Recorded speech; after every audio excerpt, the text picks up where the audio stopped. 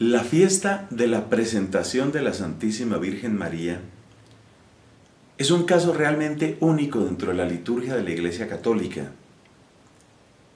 Único porque alude a un hecho de la vida de María que en realidad no conocemos por los evangelios y sobre el cual se pueden hacer muchas especulaciones, se pueden suponer muchas cosas, pero sin demasiados datos firmes. ¿Cuál es la historia que está detrás de esto?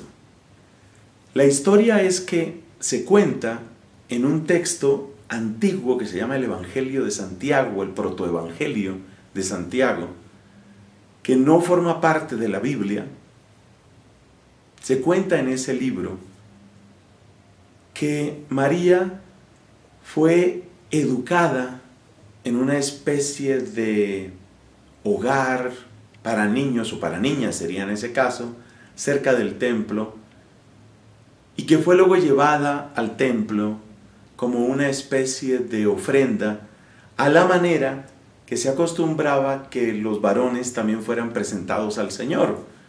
Fíjate que hay una fiesta de la presentación del Señor. Esa tiene por fecha el 2 de febrero, litúrgicamente. Entonces, la idea es esa, la idea es que María de niña es presentada en el templo y de algún modo es como ofrecida a Dios. Pero no hay constancia real de ese hecho. Y si vamos a ser críticos y si vamos a ser sinceros, la verdad es que en general la iglesia toma con bastante distancia y con mucha reserva los textos que siendo antiguos no pertenecen al canon de la Biblia. Esos textos no dan suficiente certeza. Pero esta celebración de la Virgen ha permanecido y eso debe hacernos pensar que aunque los detalles, aunque el hecho mismo no necesariamente haya sucedido, según cuenta esa obra, el protoevangelio de Santiago, si hay un misterio, si hay algo bello, si hay algo santo en la infancia de María. Es decir, nosotros no podemos pasar del nacimiento de la Virgen, que se celebra el día 8 de septiembre, a la anunciación, como si entre ambos hechos no hubiera sucedido nada y sobre todo sin que ella de algún modo hubiera entrado dentro de los planes de Dios.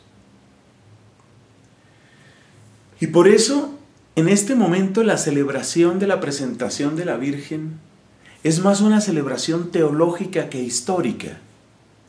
No es histórica porque no hay datos realmente, pero sí es teológica porque estamos convencidos de que la Santísima Virgen, de algún modo, y, ese modo fue consciente para ella, entró en el plan de Dios, entró gozosamente en el plan de Dios.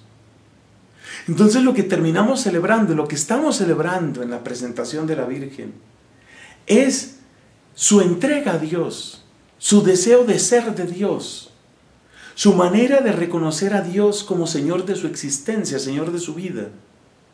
Esa pertenencia, esa referencia a Dios desde lo más profundo de su voluntad y en la integridad de su ser. Eso es lo que celebramos. Y de eso sí que hay constancia, porque hay constancia de la santidad de ella. Y porque la celebramos como la Inmaculada, como la perfecta discípula, como la realización del Evangelio en carne humana. Por eso, esta fiesta desde ese punto de vista teológico adquiere una belleza incluso mayor que si fuera un dato simplemente de esa especie de internado de niñas cerca del templo de Jerusalén. Es algo mucho más bello, porque es más bello la ofrenda del corazón y la infancia llena de Dios.